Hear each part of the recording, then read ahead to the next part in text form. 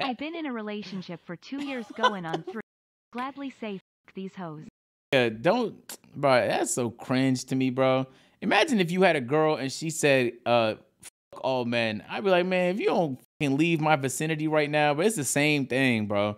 It's the same. How the fuck do you have a man? How the fuck do you have a girl for two years and you don't trust all, bro? How? Pack her up.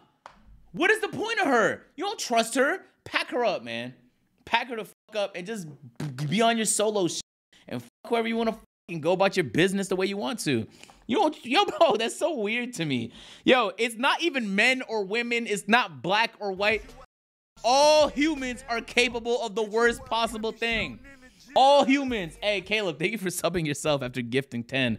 Hey, good looking out, my guy. All humans are capable of the worst. You have to get it through your skull that the person you think is not capable of doing the most thing to you is capable of fucking you over in the worst way possible for his or her own benefit, bro. I'm telling you, it's not a man woman thing. This is a human being thing. And there's gonna be some good people on the planet that are selfless and do shit out the goodness of their heart. But most people, given the opportunity, will fuck you over to get their way. But I'm telling you, chat.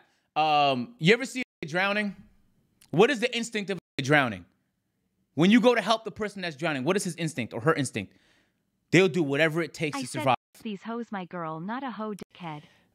they will do whatever to survive. So, have you ever tried to help someone drowning? They'll immediately pull you down because their brain is not registering what makes sense and is this fucked up or they're in they're in survive emergency mode. They will drag you down. So a lot of the times, if you're not a very capable swimmer, you should you should get a capable swimmer to help the person that's drowning because they might drag you down and kill you. So, but that's human instinct though. Most people are capable of the worst possible thing. Just get that through your brain. It's not a it's not a DTB, it's not a fuck man. Most people. So surround yourself with the type of people that have your best interests at heart and have other people's best interests at heart.